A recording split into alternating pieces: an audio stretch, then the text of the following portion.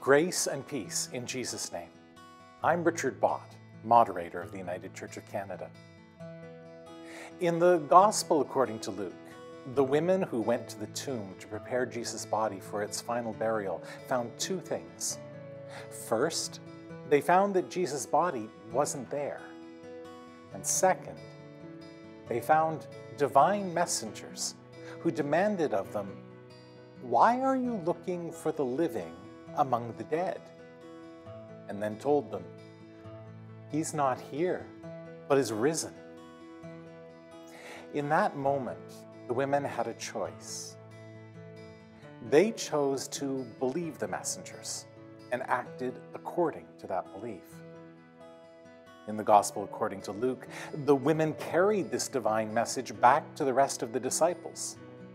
Mary from Magdala, Joanna, Mary who was James' mother, other women, all who were known by the rest of the disciples. These trusted members of the community of faith carried a message of God that had been given to them. And, as the Lucan version of the story tells it, they did share it.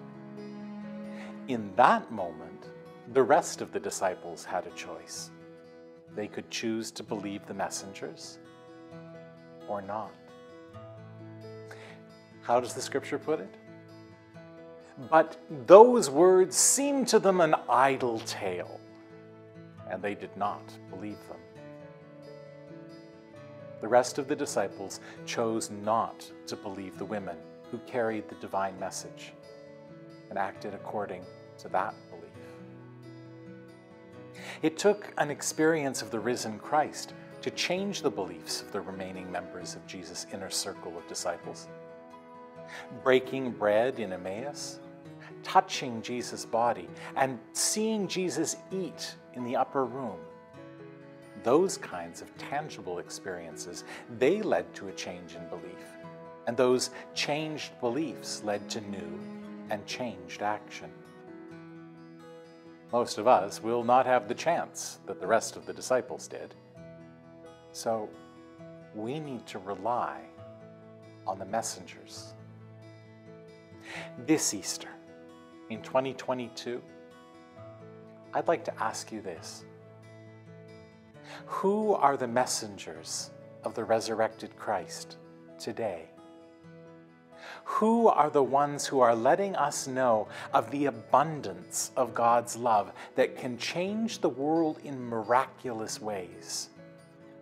And that we are invited to be an active, living part of that love.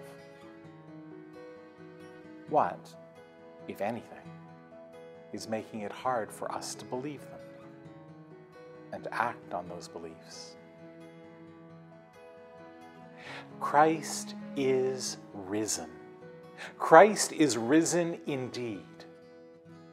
As people of deep spirituality, of bold discipleship, of daring justice,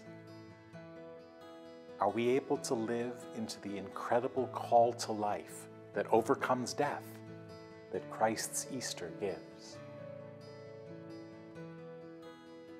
Peace be with you and blessed Easter.